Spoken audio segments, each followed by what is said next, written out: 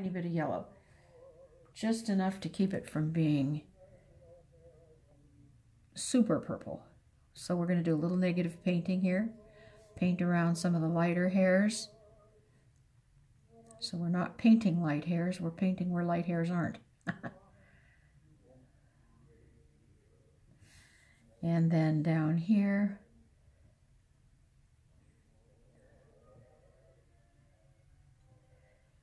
there's some hairs going in this direction that we didn't define very well.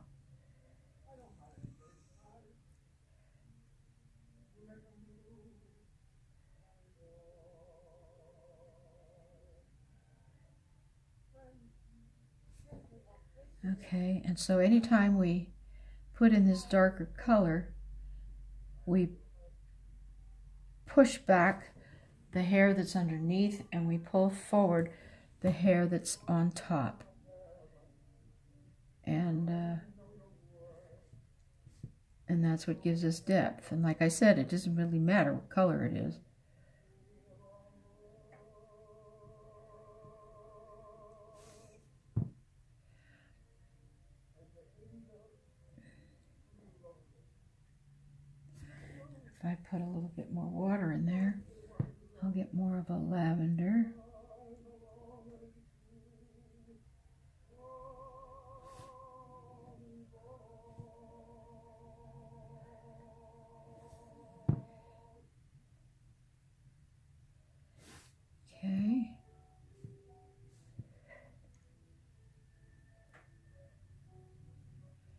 Popped a lot of uh, red and even a little yellow in the red there. Um, put a little bit of um, yellow in there. This side of her hair is a little warmer because it's in the sunshine.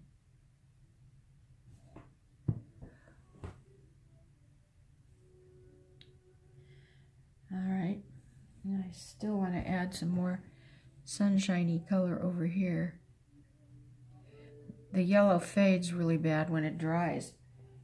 And so, um, sometimes you have to just go ahead and put a little bit more in.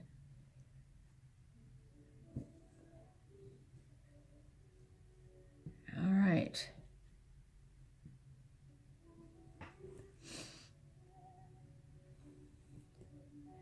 Okay, I'm going to squint my eyes and see where I need darker again. She's way darker up here. Try not to get my hand in all this.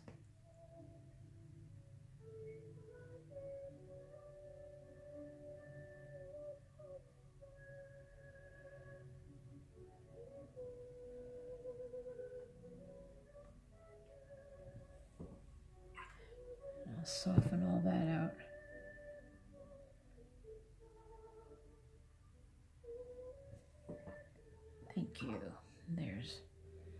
there's the colors I want more.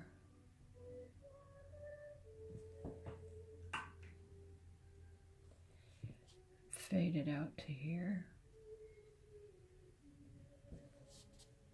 Okay. And then a little bit under here.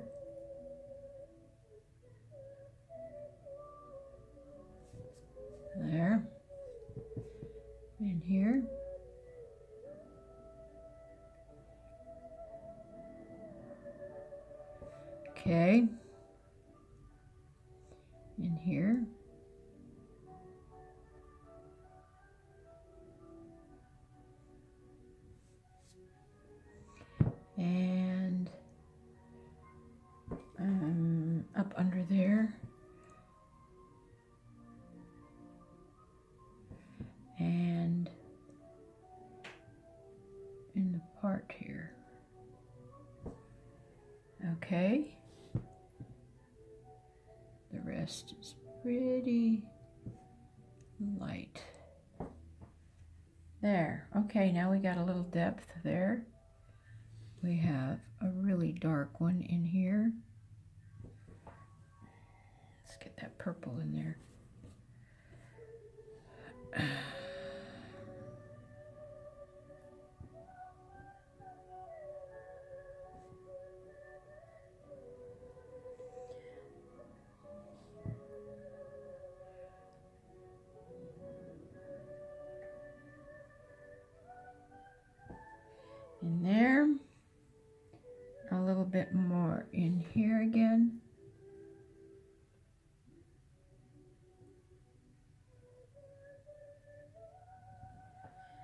As it goes down around her neck.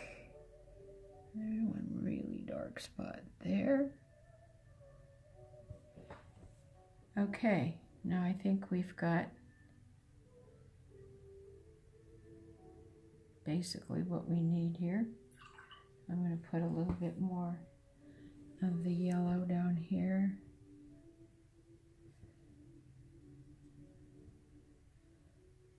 And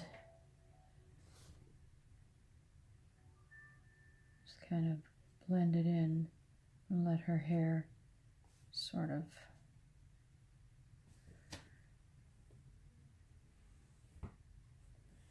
She's got some blonde hairs here. She can't see very well. All right. That's basically Moira done. I am going to do a little bit of um, um, touch up with some white and some with some lemon yellow in it. So I'll be right back. Okay, here's the fun part. We'll use a little, this is pretty thin, I hope it's going to work. I want some to retrieve some of these lighter hairs, but it's not the white of the paper. She has one flipping out into her face.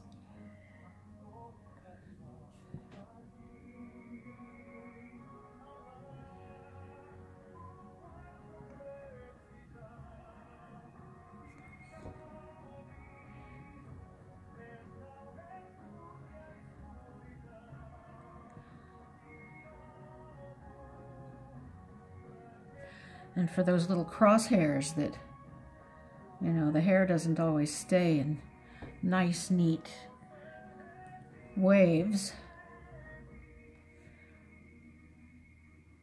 It crosses over itself and under itself and everything else. That's why it's so much fun to do. Because you can make up all kinds of patterns and I know some people think I'm crazy because I think this is fun. But what can I tell you? Soften that a bit. Okay, a little bit more.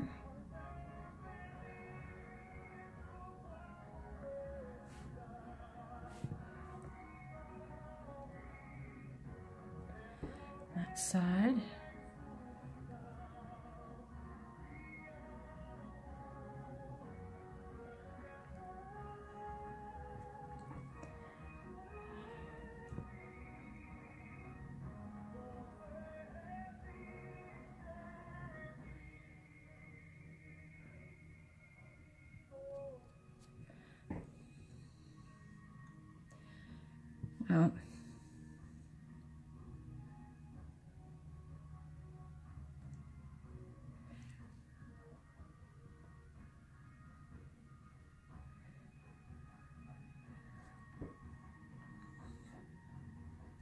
And here's that one I let get dark. I don't know how I, I let it get so dark. And we'll lighten it up a bit There's a few hairs there. And this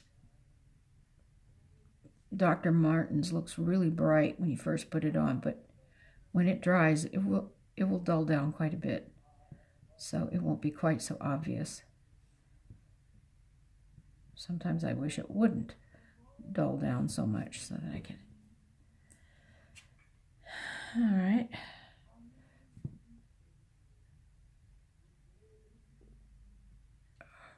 Some white hairs there. She's got one really white hair coming down there and a couple here.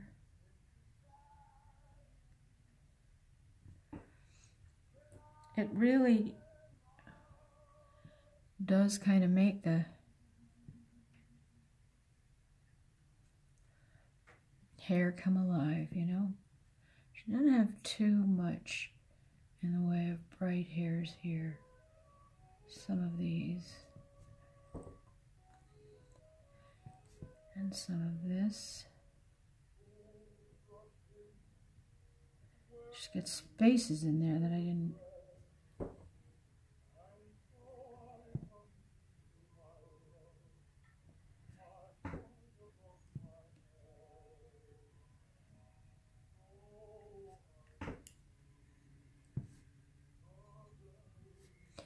That got a little out of hand there.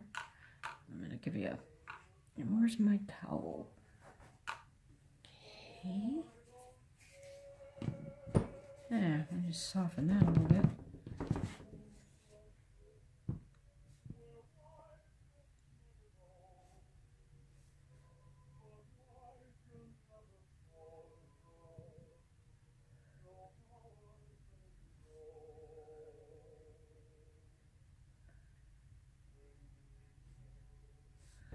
Okay.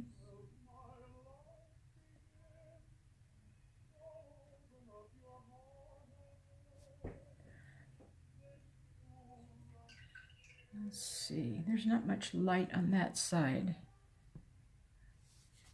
The light shines kind of behind her, so this is all shaded. But she's got some hairs there and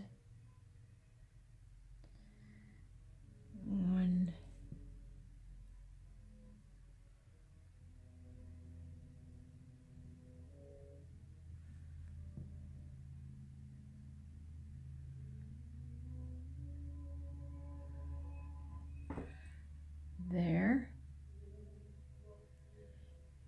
This is all very light in here. and so is this.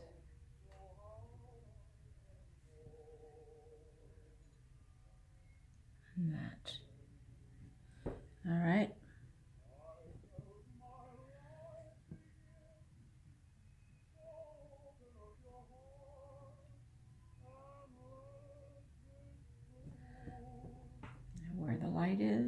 I think that's whoops, a couple places here.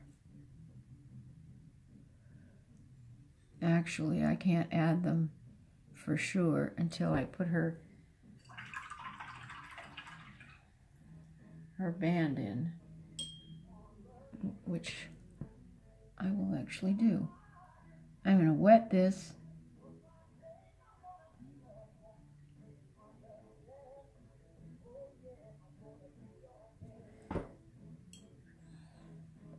wet her band.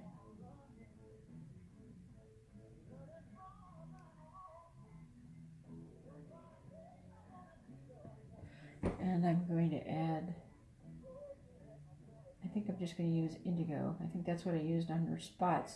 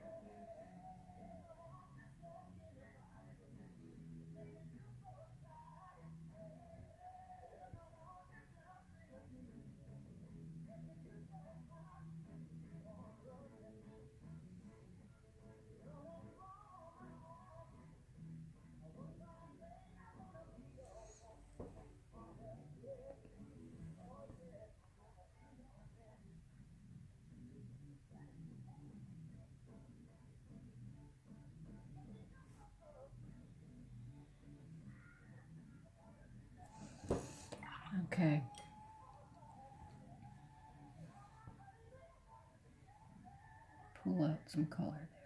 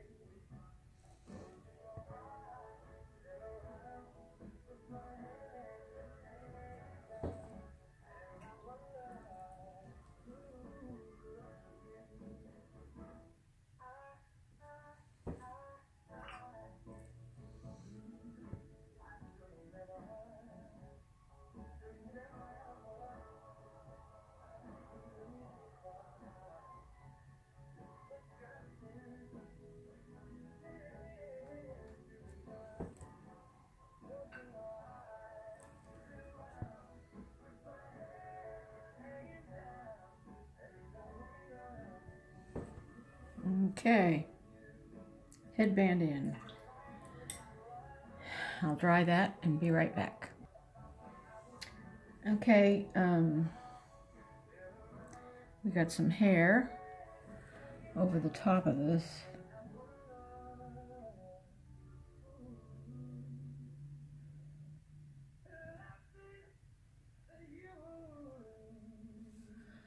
Just a couple places, and there's here.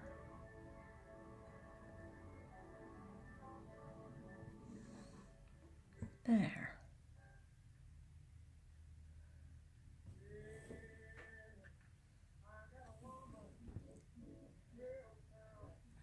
All right, I think we're finished with her hair. Unless I do a lot of fussing with it. Bye.